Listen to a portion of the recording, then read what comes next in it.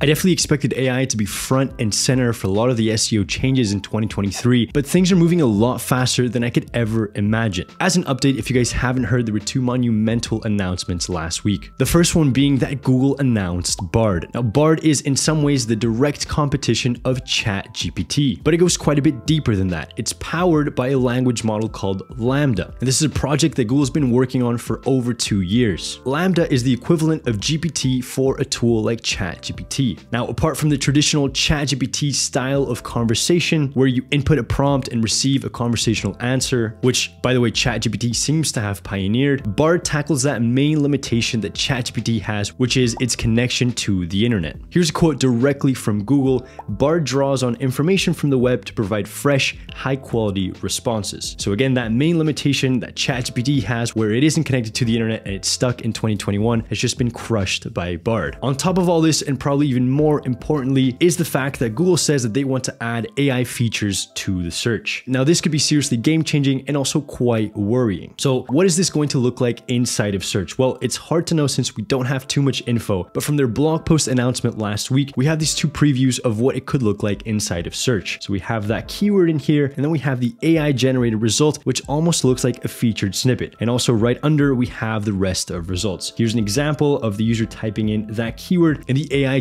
the result on the spot. And then again, as you scroll down, there's the rest of results. Now, we'll talk about that more in just a second, but I do want to talk about the second bombshell of last week, which was Bing launching GPT directly into their search. Now, again, GPT is the technology behind ChatGPT. And by the way, there are rumors that it's going to be GPT-4 that Bing is going to be using, which is much more powerful than the current versions of GPT-3 and 3.5. And the main thing that Bing is doing here is that they're aiming to create a ChatGPT-like experience inside of Bing. And if you guys go to the Bing search engine, you're going to see that there's a little tab up here for chat. You click on that, you're going to be taken to a little preview and they're going to tell you to join the waitlist since it isn't publicly available for everyone just yet. Now we do have a couple examples of what this might look like with different types of keywords, which is important to consider. Here's the first one right here. So this one is more informational in nature. I just went fishing in Montana and I'd like to go fishing wherever else, right? So we do see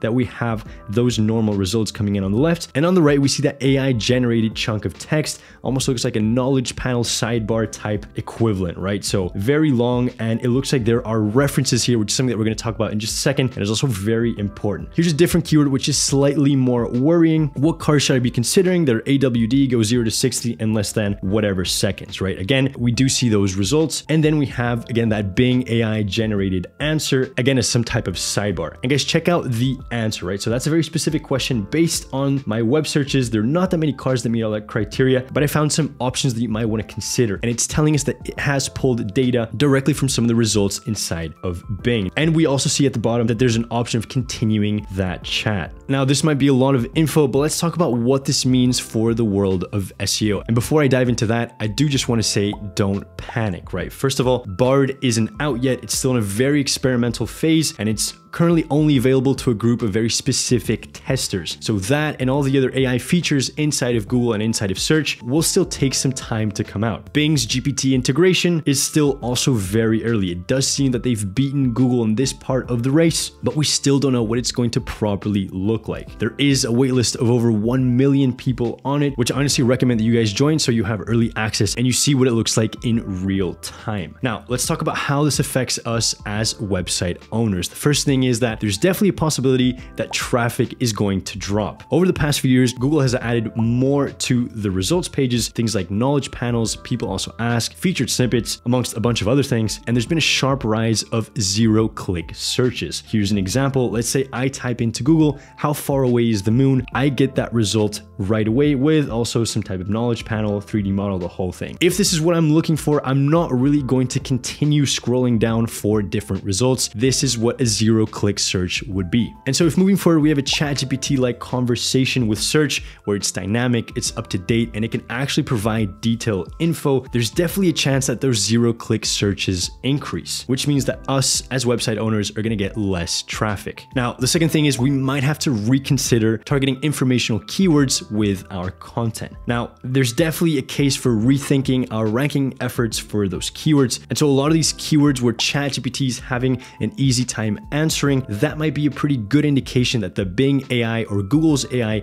will take over that keyword. Which to be fair, I'd probably guess that most of these type of very informational keywords are already being taken over by some type of search feature, something like a featured snippet, maybe even a video. A really good example here is how to ride a bike. There's already a video that's ranking for that featured snippet. This isn't really a keyword that I would try to target with my content. It's going to be interesting to see how the AI reacts to questions and keywords that need more subjective answers, right? Keywords that are more comparative and transactional in nature. We've seen ChatGPT have a hard time with those types of keywords, but in that preview that we just talked about of the Bing AI search chat, Bing was pulling data from their search results. But, and this is important, they were adding references to where they were taking that data from. And this leads me perfectly into my last point, this question of references, because in the preview that we got from Google, as we can see here, it doesn't really seem that Google is adding any references or citations to where it's getting that content from. Now, it is important to say that we don't actually know where they're getting the content from. And number two, that it's still in a very experimental phase, so we don't know if this is the final product. But let's say for argument's sake that Google takes data directly from your website, from the content that you've created, and presents it in the